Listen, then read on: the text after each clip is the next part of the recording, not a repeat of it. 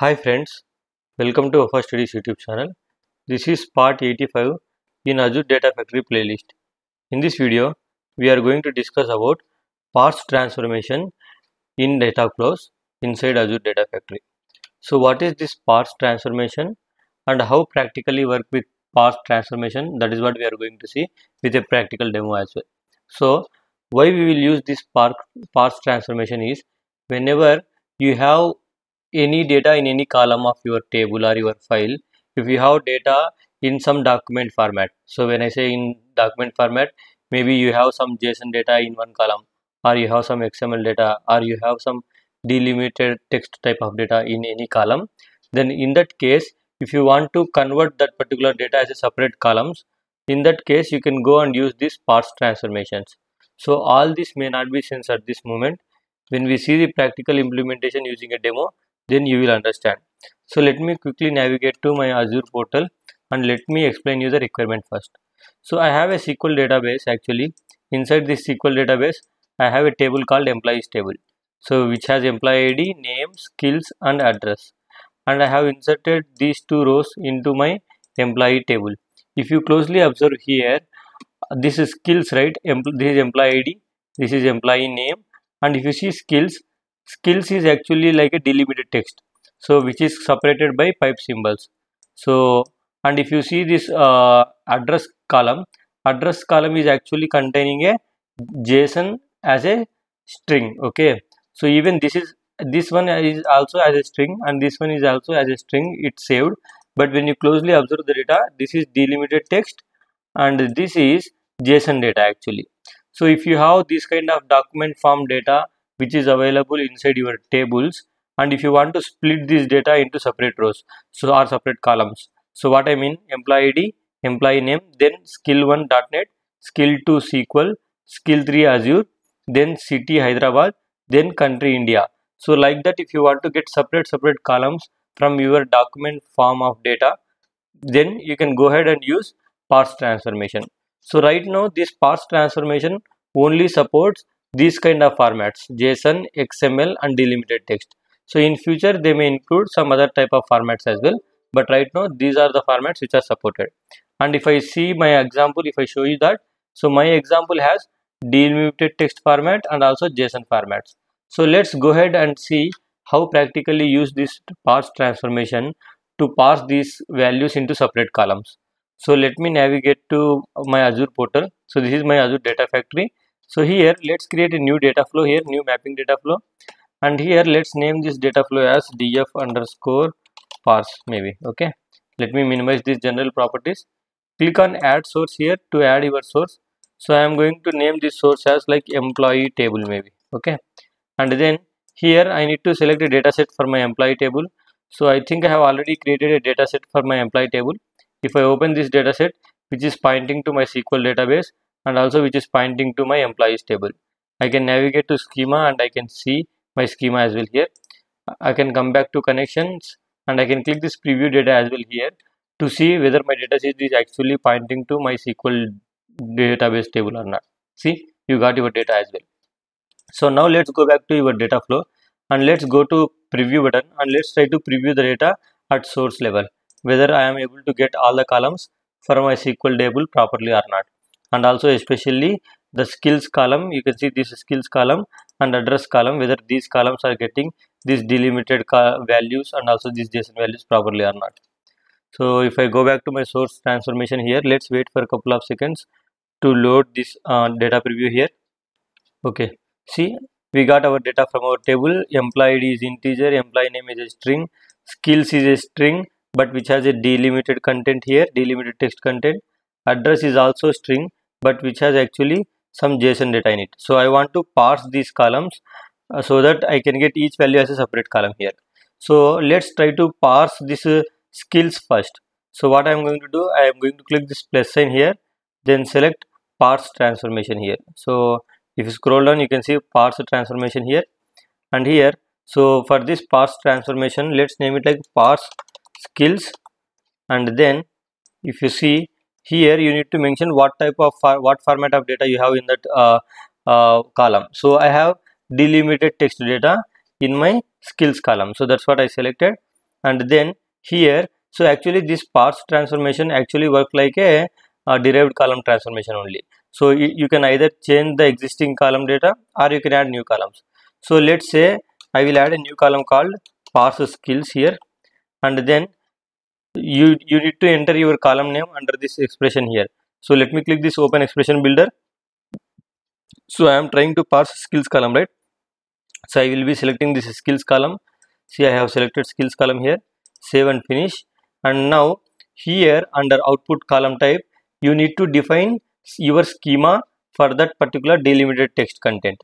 So if you closely observe here i have this delimited content .NET SQL and Azure right so I want this .NET should be as a as a skill 1 SQL as skill 2 Azure as skill 3 so if you want like that you need to define that schema there here under output column type. So let me click this define complex type here. And here you need to define the schema in this curly braces.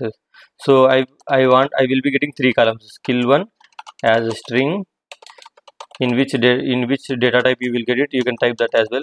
Skill 2 as a string okay. Then skill 3 as string.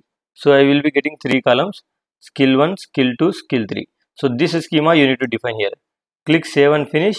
And also the moment you select the format here that particular format corresponding settings will appear. You need to define values here also. So if you closely observe my delimited text data is actually separated by pipe symbols. So i need to define that. Column delimiter is pipe symbol in my case. Okay? And here there is something called null value. If you have any null values then if you want to use some default values to represent those nulls you can do all that. You no need to worry about that. So mainly focus on this column delimiter you need to specify that properly. So now i will go to data preview. Let me refresh my data preview to see whether this skills column now converted into three columns. I mean this column will be there anyhow. I added a new column called parse skills right? So there i should get three columns. Skill 1 skill 2 skill 3 so let's see if that happens or not here.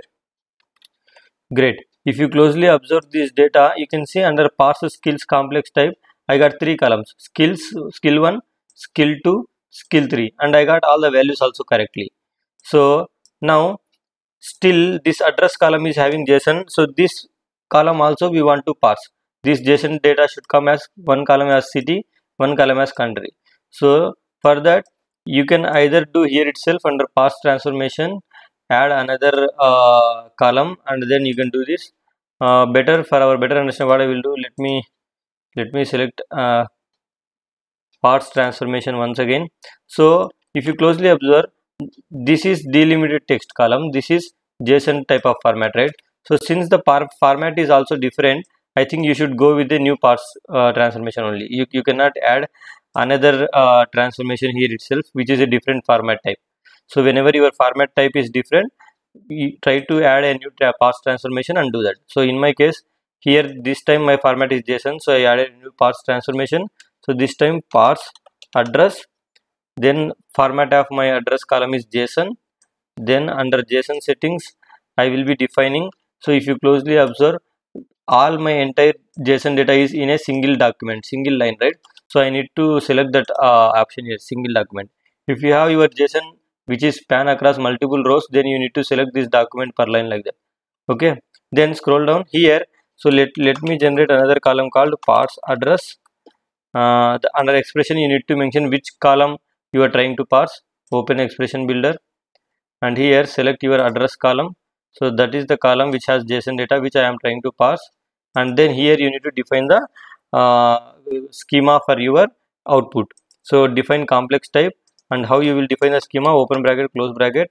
And if i go here i have two columns. One is city. So let's say like city as a string again. It's a string data type. Then i want another column called country. And this column is also as string. So i just defined my schema for our parse transformation. And now let's go to data preview and let's try to refresh data and see whether we are able to see the results properly or not. Great. We got our data preview. If i scroll towards right you can see parse address and i got city column separately and country column separately. So now what i can do? I can load this data into some sink so let's add a sink transformation here. And under sink transformation maybe I want to load this data into this uh, ADF demo container output folder under my blob storage. So what I will do I will add a dataset for my output folder. I have already created one dataset for my output folder. I will select that. Let me open this dataset. You can see it is pointing to ADF demo container output folder. Okay?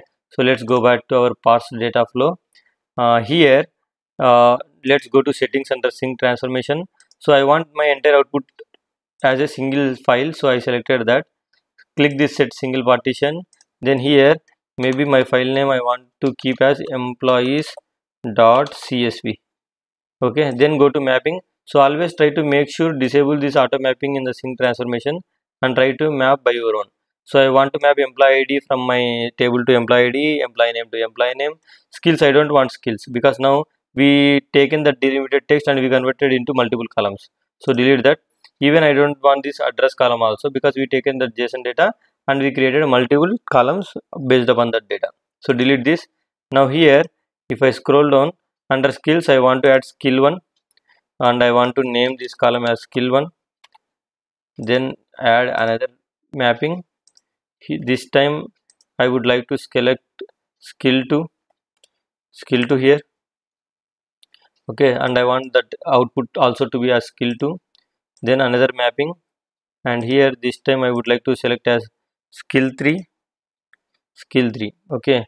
So then address. Under address also I have two right?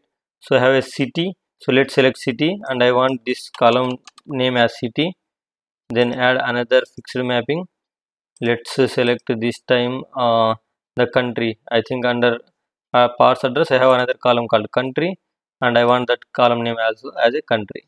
So now you can try go to data preview and you can refresh this data preview to see whether you are getting details properly or not. Great. If you if you observe your output now i am getting employee id employee name and now i am getting skill 1 column skill 2 column and skill 3 along with the same lines I am getting city column and then country column right? So this is what my final output I want. I, I, I just tried to use the parse transformation which took this data this delimited and JSON data from these columns and parsed the data into separate columns as I am showing it here. So now finally I am loading this entire data into employees.csv file under output folder. So let me quickly do one thing. Let me create a new pipeline here and inside this new pipeline maybe I would like to run this parse data flow whatever I just now created so let me execute this data flow in a debug mode and then let's see whether it will actually generate the file with the accurate data or not so you can see right now our data flow activity execution is in progress let's wait for a couple of seconds to complete this execution here. Great. Our parse transformation related data flow execution is completed here successfully. Let's go to adf demo. Let's refresh this output folder here under blob storage to see you can see our employees.csv file is created. Let me open this employees.csv file and let's try to make sure I got my data properly or not here. So let's click on this edit button here. You can see let me preview I am getting employee ID, employee name, skill 1, skill 2, skill 3 and city and country columns properly. So hope you guys understood now like how this parse transformation is helping you to parse the data which is available in JSON, XML or delimited text format. So thank you for watching this entire demo. If you like this video please subscribe to my channel and press the bell icon to get the notification whenever i add videos. Thank you so much guys